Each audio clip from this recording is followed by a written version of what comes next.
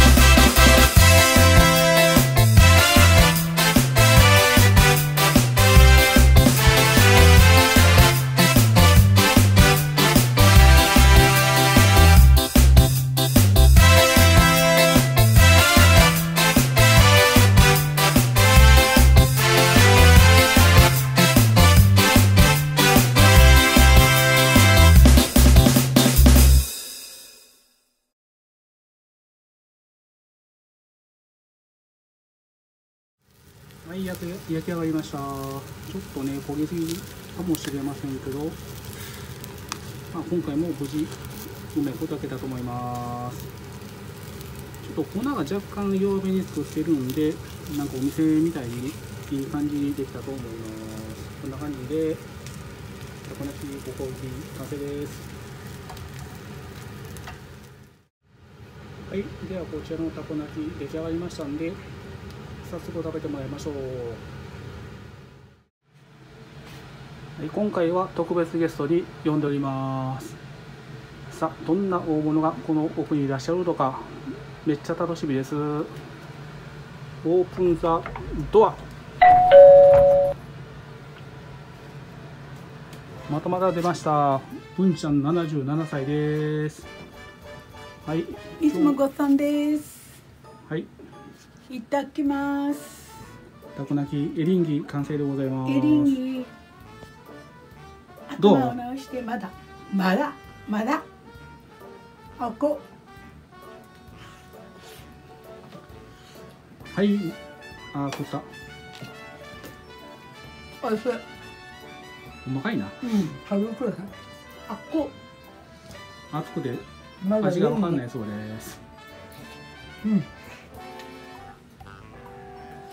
あこ熱しかないんかいね。美味しいとかまずいとか、美味しいんだけどあこうん。エリンがコリコリして美味しい。ちょっとねレアでやってるんで。ミディアムレアでやって焼いてますんで。あ美味しい。エリンギ好きや。ちょっと中割ってみ見せてみて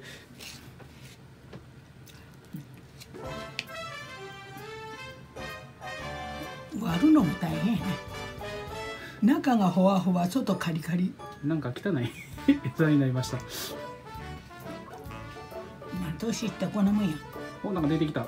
これこれエリンギ。たこ焼きみたいなエリンギ。タコみたいなエリンギ。もうタコの格好してるわ。ねタコって海のもんなんだけどエリンギ山のもんやのにうん。非常にタコに似てて。おいしい食感こう食感もタコよりからちょっと柔らかいって感じかな。だそうです。タコよりも若干食感が柔らかいということです。以上です。たこ焼きは美味しいよ。味は美味しいよ。今回だいぶだいぶというかちょっと前回の粉を膨らみしました。そうやな。この間やからまあちょっと柔らかくてたこ焼き。外は？うん。こっちの方がしく。ありがとうございます。はい今回の星はいくつでしょうか？星この間3つやったもんな。うん。おまけしすぎたけど今日も3つ。はい星3つありがとうございます。はい。っていうかた。ねなんか星3つって言えって言ってみたいですけどでもこの間よりかは3つ半ぐらいかな。この間よりか美味しい。100点満点が3つちゃうの？100点満点か？はなな星何個なん？100点満点で星3つって言ったらいくつ ?90? え？100点満点星3つでしょ？あそうなんや。ほんならちょっと上で110点ぐらいかな100点以上超えちゃいました、ありがとうございます。以上文ちゃんでございました。